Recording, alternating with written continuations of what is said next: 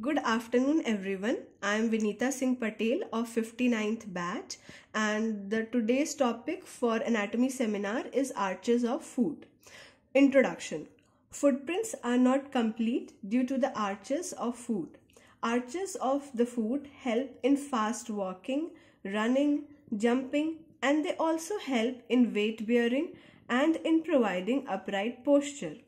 Arches are supported by both intrinsic and extrinsic muscles of the sole in addition to ligaments, aponeurosis and the shape of the bones. The foot has to suffer from many disorders because of tight shoes or high heels. The foot has to act as a pliable platform to support the body weight in the upright posture and as a lever to propel the body forwards in walking, running, or jumping. The human foot is designed in the form of elastic arches or springs which are segmented so that they can best sustain the stresses of weight and of thrusts. The presence of arches make the sole concave. Footprints show the weight bearing parts of sole like heel, the lateral border of foot, ball of little toe, ball of great toe. The arched foot is a distinctive feature of man which distinguishes him from other primates. Now we will see the classification of arches.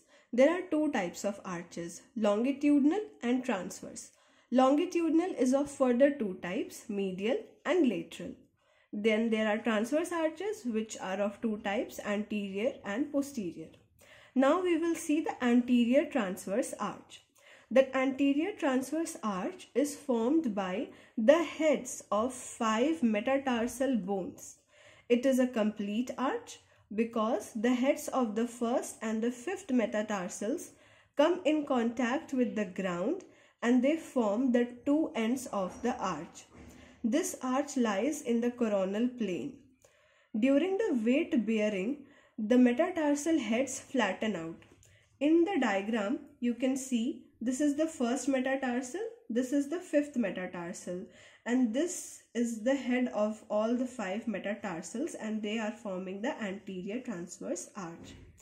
This arch is supported by intermetatarsal ligaments and the intrinsic muscles of the sole.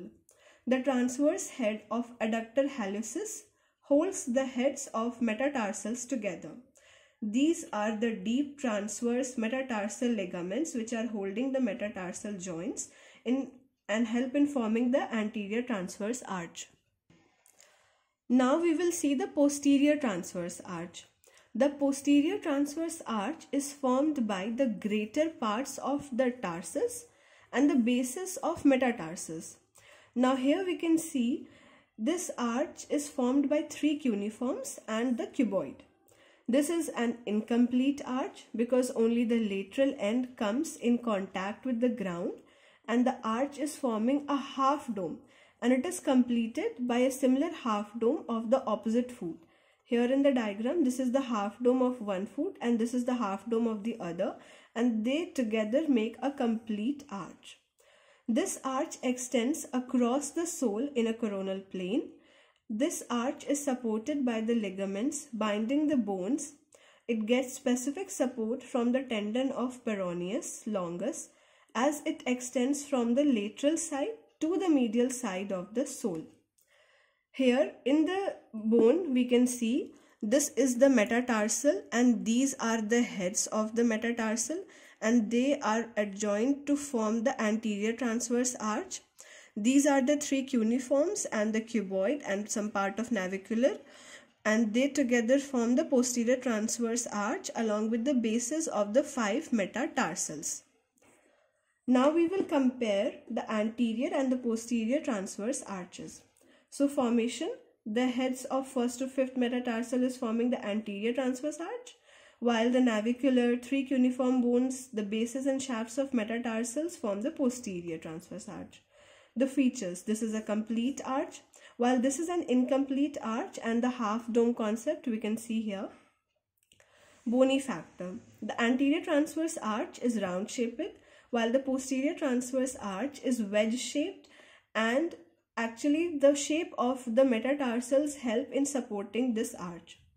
Intersegmental ties, dorsal interosseous muscles, dorsal interosseous muscle in both the arches. Tie beams, adductor hallucis and deep transverse metatarsal ligaments for the anterior transverse arch and flexor hallucis brevis and the intertarsal and tarsometatarsal ligaments for the posterior transverse arch. Slings, peroneus longus and tibialis posterior for anterior transverse arch and peroneus longus and tibialis posterior again for the posterior transverse arch. Thank you.